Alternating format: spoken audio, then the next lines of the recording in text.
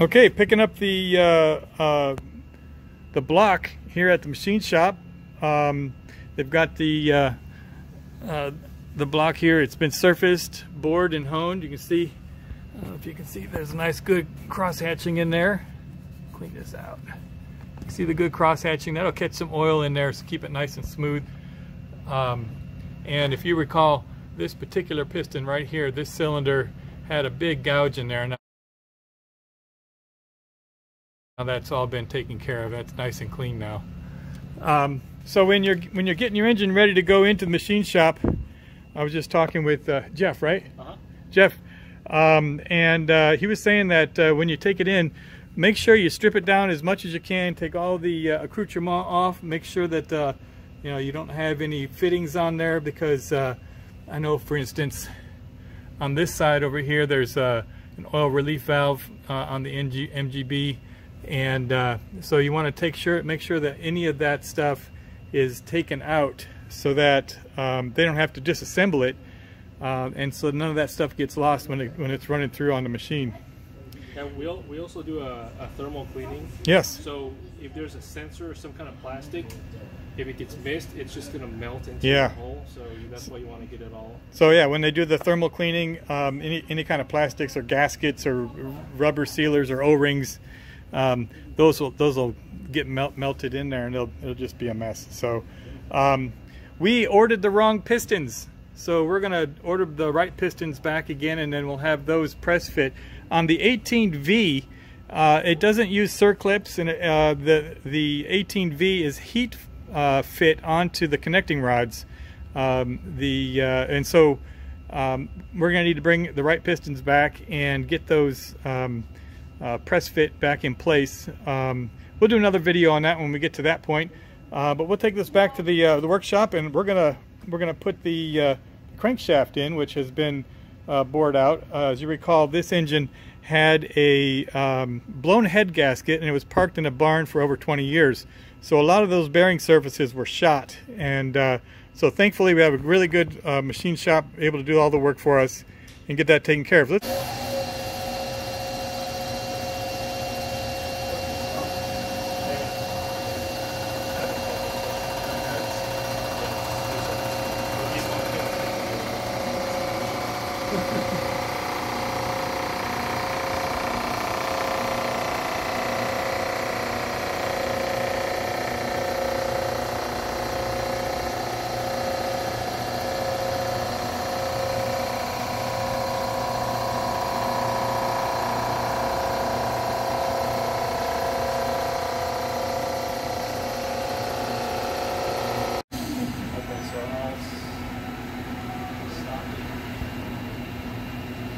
take come closer, you can take a video. You see, so when you have a head that's warped, you can't just slap it back on because you see how this touches at the ends uh -huh. where the machine cut uh -huh. ends, but all this is not touched right here in the middle. Yeah. So if you if you want to torque this head on, you just blow the head gasket right. Right, it, right, up, right, blow it right out, huh? Yeah. That's pretty cool. And then, yeah, basically what it does, it'll just make a few very light cuts, uh, you know, a few 1000s mm-hmm. at a time yeah. until it cleans up the What what kind of a, uh, a tool is tool tip is that? It's a diamond, right? Uh, it's it's called PCD. It's a polycrystalline diamond. So polycrystalline diamond. Powdered. They take diamond, powdered powder it uh. up, and then compress it and regrow like a crystal structure. Huh, that's pretty cool. Yeah, but it's actually like a diamond based. Great. It's very sharp. That's why this it looks like a mirror finish almost. Yeah, yeah, that's pretty cool. It's uh, really polished. Pretty neat. Well, hey, thanks for your time. Yeah, no problem. On this side of the engine, um, it uh, it needs to be cleaned up a little bit because um, in the uh, in the machine shop to keep it from rusting when it was being stored, uh, they sprayed this outside of the block down. Uh, but there was a little bit of uh, I want to try to stay positive. Um, So the gasket surfaces here has paint on it, and so these need to be brought back to bare metal. Uh, so I'm going to go through and any place where the gaskets go, I'm going to bring it back to bare metal. And so we'll bring these, um, bring these clean, get these threads all clean so that we get a good seal when we start putting oil on. I think, um, uh, I don't think there's any on this side. Well, maybe this right here, just that one surface right there. Um, so yeah, I'm gonna go ahead and start cleaning off some paint. We're gonna repaint this anyway, a different color. It'll be uh, kind of a dove gray, but uh, those have to be cleaned off. Right, there you go, all nice and cleaned up. One little note, um, in this groove down the bottom, this is where the, the oil filter would normally be seated in there. Um, but in this groove right down here, there was uh, remnants of a really hard piece of plastic. This is where the distributor gets connected. Uh, that's all cleaned off. But this is uh, this is what's left of what should have been a pliable piece of rubber. I don't know if you can see. that was there's no way that that's going to seal anything. It had a big crack in it anyway. Uh, quite likely, um, that piece of rubber was damaged when the engine was uh, uh, heat and pressure washed. Um, but regardless, when it was in the dip, it probably uh, killed that piece of rubber. All the rubber in the engine should have been removed, but I guess I missed that one. But that's a lot better now, and we'll have a good seal when we when we do get the oil filter back on. All right, so I've got the majority of the uh, the flat mating um, gasket surfaces. This is the front end. Um, I got them all cleaned up, all the rust taken off of those. Uh, starting inspection, uh, obviously when you have an engine apart, you don't, and before you put it back together, you want to make sure that if there's any problems, you don't want to have to take it apart again. so what I'm doing here is I'm looking at uh, uh, screw holes. I'm looking to see if any of these are stripped um, and if they need to be retapped or put some uh, some thread helpers in there, whatever. But um, here's something I noticed that I'm going to have to take care of. So this is the mount where the oil pump goes. And I don't know if you can see, when I cleaned it here, um, it made kind of a shiny surface. You can, I don't know if you can, you can see from this view. See how that is pushed up? Somebody have has over torqued this bolt and it caused the threads on the top side to stand proud. Um, and so basically when you put a gasket in there between the oil pump and this, this uh, threaded hole, um, you're going to have a spacer in there. And that gasket's not going to get a good clean um, seal all the way around this surface. It'll be standing on top of that surface there. So what I'm going to do is I'm going to I'm going to put a chamfer on these to bring these threads back down uh, and I'm going to run a tap through that just to make sure that those threads don't have a problem. Lo they look pretty good from here but that top edge needs to come down. I don't want that ridge to be there. That same same problem on this one, and this one's pretty good. But you can see it looks like it's broken off. So it, it still it needs to be cleaned up. So I'm going to run a chamfer on these um, just to make sure that they're not going to have any problem with sealing the oil pump. Now, one of the other things that I found is over here on the water pump. Um, let me see if I can put a light on this so you can see a little better. There's four bolts that go on the water pump, you know, right here. One, two, three, four. And it looks as though, first of all, you can see this is not really that flat anymore. It's been on and off a few times. A couple different water pumps have been through. Uh, it looks like it has been leaking. And this is probably why. I don't know if you can see there are no threads until you get really deep into that hole. Uh, it should look a bit more like this, where you can see the threads right in there. See the threads start to show up before you get too deep. So um, I'm going to have to look at either retapping this uh, the next size higher. I mean, it's you can tell it's uh, the threads have been pulled out. It's uh, the edges are are uh, chipped away. It's had it's been a serious problem with this car. It's probably always leaked radiator fluid, um, which might have been reason the source of why it overheated and ultimately blew, blew a head gasket. Um, obviously, if you're running low on coolant and it's a chronic problem, you don't always check it. Um, that could be the source. So uh, I'm going to solve that problem straight away and uh, we're going to put some new threads into this water pump uh, mount. I think maybe I'll just thread them all the next size higher and um, and we'll have a, a, lot better sealing on that. I'm gonna go ahead and chamfer those uh, uh, those tap points. You can see there's a little ridge on here. I'm just gonna knock that ridge down. Um, I've taped off any of the places where the oil would normally travel and trying to trying to limit the uh, the shavings to just this little area here. I've set the block on the edge so it's not falling down into the uh, into the engine. Uh, and I, you know, I put some baffling uh, paper towels up in there just to make sure that uh, I'm managing where the where the chips go. Not going to be that many, but I don't want any of them to be left behind. I think I'm going to put a magnet down there too, just to manage it. This is the chamfer bit that I was talking about. Goes in the drill. Uh, it doesn't have uh, thread, so it's not going to go that deep. And here I put a magnet in the bottom just to catch uh, any of the shavings that come out so that the drill motor with its fan doesn't blow the shavings around. So let's go ahead and chamfer these things. I'll show you what they look like after the fact.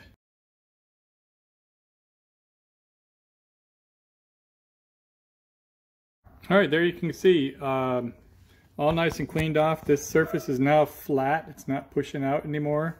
And uh, I run some brake free up in there to make sure that there was any uh, any shavings or anything. Uh, I got some paper towel stuck in there. Uh, any shavings up in there uh, that that's all cleaned out. And uh, I think that that handle that problem is handled. Again when you're doing this chamfer bit you just want to hover it over the thing. You don't want to put any down pressure on it. But you do want to manage the shavings. And you can see I got everything all cleaned up real nice. No contamination entered into the engine. Okay so the next thing I'm going to have a look at here is this water pump surface. I've cleaned this up really nice. To see I I ran some uh, 400 on a uh, a piece of a straight bar just to make sure that the surface is flat and that highlighted how the edge of this one you can see because it was over torque it had pushed out a little bit.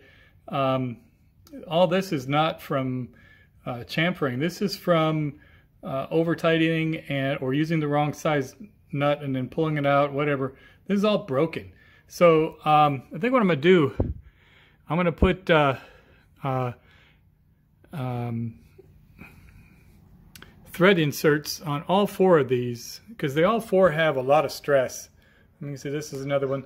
Look at this one here. Here's the, the right bolt size right here. Check this.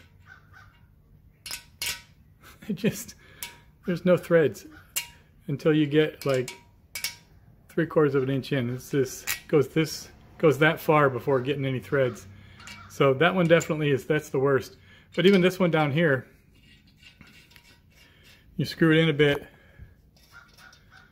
you can see how wobbly that is. I mean, that's uh, it's in a, a good three quarters of an inch and still really wobbly. So these two on the top definitely need to be uh, uh, have the the inserts put in. But you can see there's some stress on this one, and this one's chipped away as well. So I'm going to go ahead and put uh, uh, thread inserts on all of these. Um, they'll be uh, 5 16ths by 24 when they're done. Um, so that's what's up next. All right, so the first step here is I need to drill these out. Uh, in order to do that, we need to know the distance. So basically, if you take your, uh, your caliper here and you measure the tail that comes out, it'll tell you how deep that you need to go. You can you can adjust that one way or the other. And then